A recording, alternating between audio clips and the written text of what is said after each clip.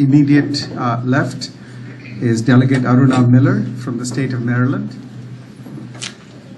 Next to her is Ambassador Nirupama Rao, the Ambassador of India to the United States. Next to her is Izzy Patoka, who is the Executive Director of the Office of the Governor for Governor Martin O'Malley of the state of Maryland. Next to him is Rajan Natarajan. Rajan is the Deputy Secretary of State for the state of Maryland. Attorney General Doug Gansler of the state of Maryland. And Majority Leader Kumar Barve from the House of Delegates in the state of Maryland.